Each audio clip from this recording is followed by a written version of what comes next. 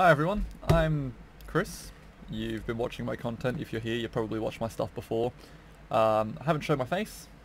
That's not out of any particular reason. I just never needed to. Um, I was going through reinstalling my Fallout 4 because I lost all of my work. Uh, my mod stopped working. It's the Sanctuary settlement that you've probably seen. It's it's dead. I I tried so hard to get my mod list working. I tried so hard, but the uh, the update that brought in the Creation Club, I think it's called, absolutely fucked my shit up. I tried everything. Like, I updated everything. No luck. So I was going re through it. I did a fresh install of Fallout. To get some new mods, the yada yada, and I'm to give you a quick walkthrough on how to do it while I'm here. Like, why not? Uh, for those of you who are already like relatively experienced, all I'm going to be doing is going through how to get to your Fallout directory, um, the process of installing Fallout 4 script extender, and the pro uh, the process of installing Nexus Mod Manager as well. So if you already know how to do all of that, this video probably won't help you at all. Um, there's probably plenty of other guides that are better than this, but I'm going to do my best in this one. Um, content that's actually useful to someone. So, first things first, Steam. Um, I don't know if there's even a non-Steam version of Fallout. Hello Adonis, how are you? We have a visitor. Say hello, you little shit. Say hello. Oh. I have food, and he's trying to eat it. Um, so, open up your Steam. You've freshly installed Fallout. You want to right-click, hit Properties. Go through that for you again. Properties right at the bottom. You want to navigate up the top across to local files. Bada bing, bada boom. Uh, the reason my Fallout directory is so big is simply because I've installed that optional DLC, uh, the the uncompressed texture one. That is a vanilla thing. That's just why that's so big.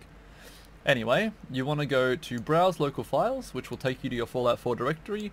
You can navigate here yourself through your normal method, which would be my computer, program files, Steam, Steam apps, Fallout 4. Uh, I just find this method's faster. You know, one, two, three, you're here. So you'll probably want to like side screen that. Get rid of your Steam. The next step would be Fallout 4 script extender. It's just good to get that out of the way. Um, so you'll navigate to just legit just search F4SE into Google. The first result is Fallout 4 script extender.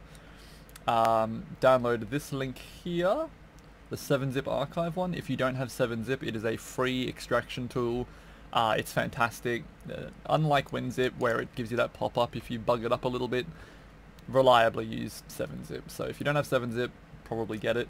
Uh, I've taken the liberty of already doing this. Uh, I don't even know what I have installed here. Let's hope nothing embarrassing shows up on screen. So you want to right click on Fallout 4 Script Extender, 7-zip, extract to. I prefer to do it this way simply so I know where all the files went. You can do it however you're used to. Open up that, open up the folder, and this is what you're after. So you want to open up your Fallout 4 script extender, and that's the version, or the date, I don't even know which one that is. Version. This is the stuff you're after. So what you're going to do with this is just copy all of it, or you can just click and drag if you'd feel like it. I prefer copying.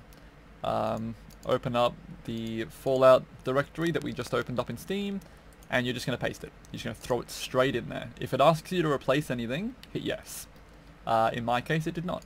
That's fine. Now, what you might want to do is, now that you've done that, your, your Fallout 4 is script extended. It's that easy. The next thing you'll want to do is go into your Steam. You can do this through Nexus Mod Manager, but I've had trouble with it before. So go into your Steam, hit add a game, add a non-Steam game, and browse through to... What in the world is going on here? Ah, Fallout 4 script extender loader. That's the thing we just copied across in there. And add that as a non-Steam game. So there it is. Add selected programs. Done. Uh, go back to, you know, get to your library, navigate to wherever that ended up. So F4SE. Right click on that now. Properties. Rename it to whatever you feel appropriate. In my case, I use Fallout 4 F4SE. Uh, you can hit choose icon and actually just yoink the Fallout icon. And um, there you go. It looks like Fallout to you. Oh, got rid of that. Boom, done. Okay. close that, and now you have a nice clean Fallout 4. So whenever you type in Fallout like you normally would, you are offered your vanilla Fallout 4, which is launched through Steam, and you'll launch the script extended version, which is probably what you're after for almost every mod. Like uh, I, it baffles me how many mods use Fallout 4 script extender, if not all of them. I'm not 100%, I'm just talking out my ass at this point. Okay, from there, you're, you've got your script extender installed, you're ready to go.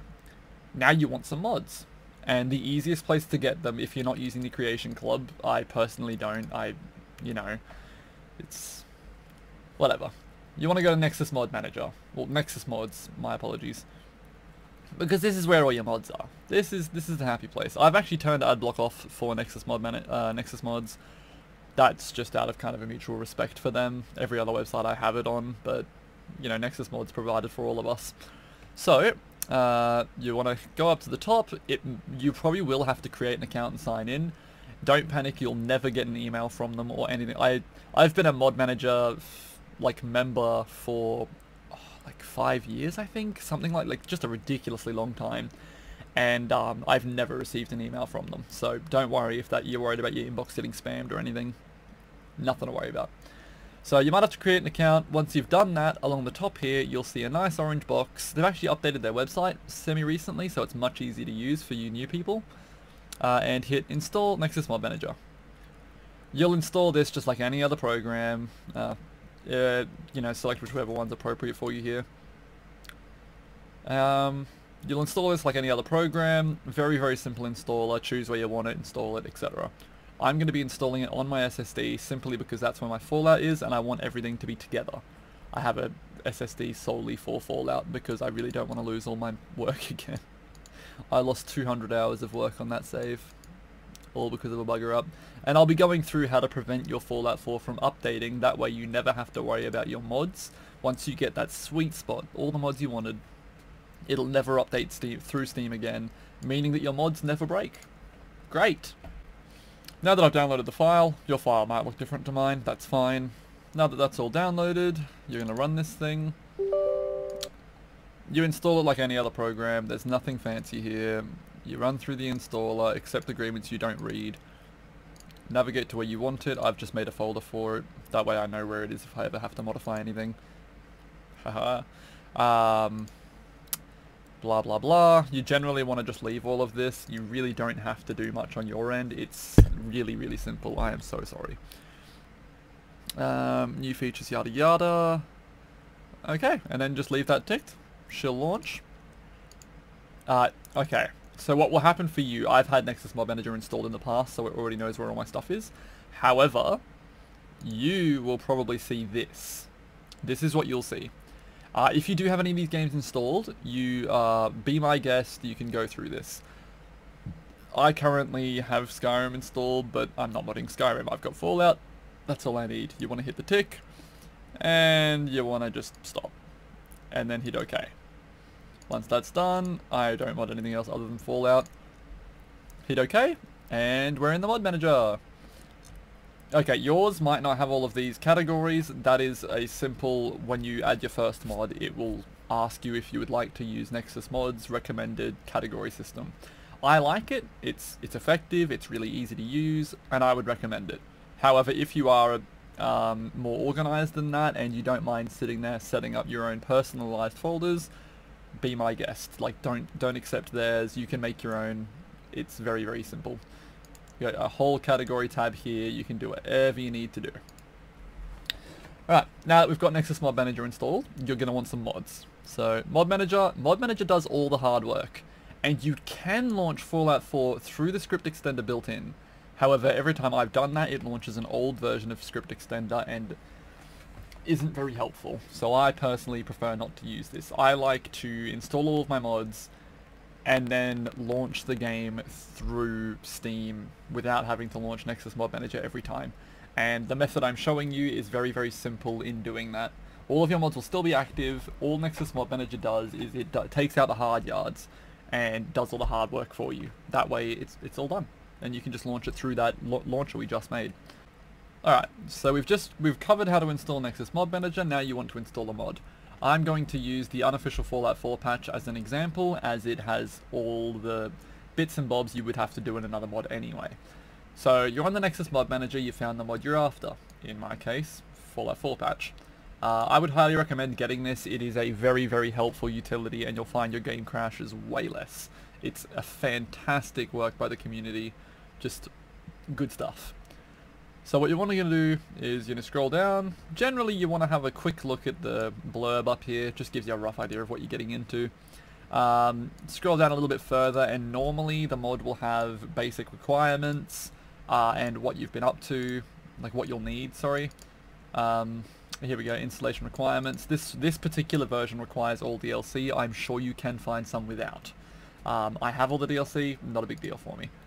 Usually you'll find extra steps you might have to take other than simply hitting install right here. In which case, this one has a particular load order that needs to be followed.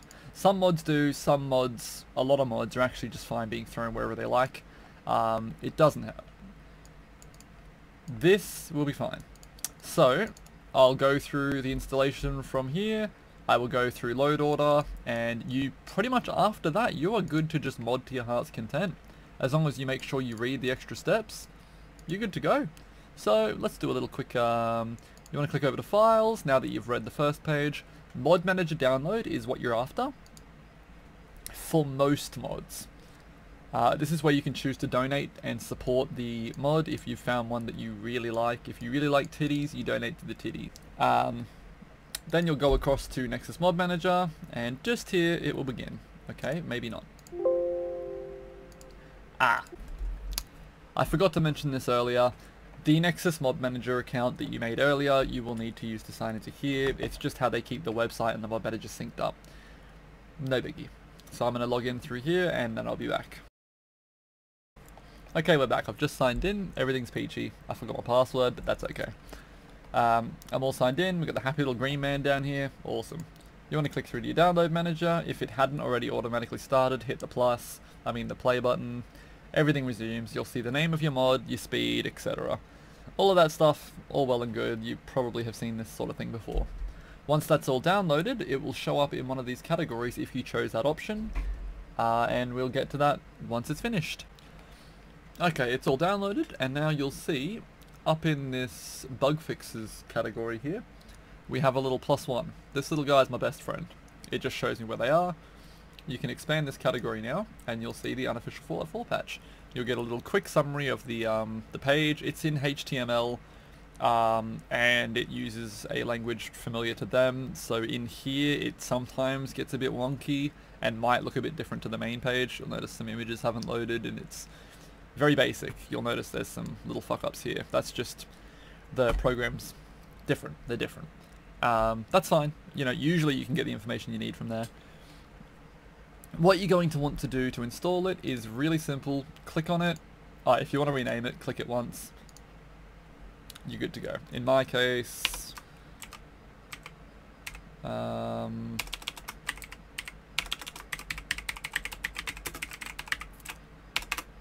I know what it is. So that's the unofficial Fallout 4 patch. I like to rename all my mods because some of the mods will come through with like a, a, really long name and they'll repeat themselves a few times. Very easy to fix. All you legit have to do is just click the tick. Um, okay, that is a message on my end. I don't know why it says that. Considering it's on an SSD and it runs fast as fuck. Now that that's done, that's installed. You see the little tick there? It's really that easy. Almost all mods can be installed this way.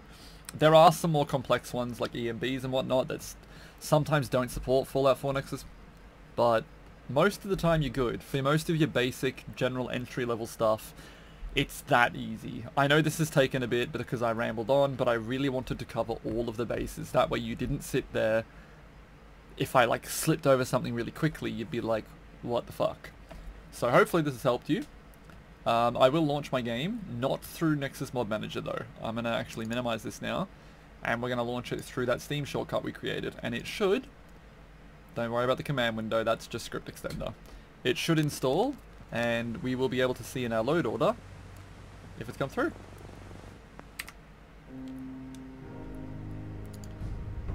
The best way to tell if you're, um, okay, the best way to tell if your script extender has worked is go down to your settings, click that, and in the bottom right hand corner of your settings windows, it'll say version, Fallout 4 script extender, and then your game version. This is good. That means that it's working. If it doesn't show the Fallout 4 script extender, then something's gone wrong. Please go back through the video and walk yourself through it again. It was probably just an innocent mistake. So now we're going to go into... Oh wow, my saves are still here. That's heartbreaking. Well, here is my main save. It has five days of work and it is bugged. All of my mods are gone. Anywho, um, you can see the game's working. I will just create a... Okay, achievements are disabled through mods. You can find a mod called Achievements on the Nexus Mod Manager. It simply re-enables achievements when you have mods because for some fucking reason Bethesda thought that was a good idea. So that's fine. New survival playthrough. Other than that, we're done. Good work. You know how to mod Fallout now. Um, thank you for watching, etc, etc. My entire channel has been demonetized by YouTube in their latest YouTube partner program changes uh, because I don't have a thousand subs and I don't have 4,000 hours of watch time. So that's pretty brutal. Um, even if I do hit those milestones, I am not going to monetize my channel anymore. Um, you guys don't deserve to see ads, so, and if YouTube's gonna fuck me like that, they don't deserve to serve ads. So, that's pretty much it. If you want to support me, legit, I don't want any kind of monetary support. Just share the videos around, like, I almost said favorite, but like, War. like, subscribe, just watch my videos, man. Like, that'd make me happy.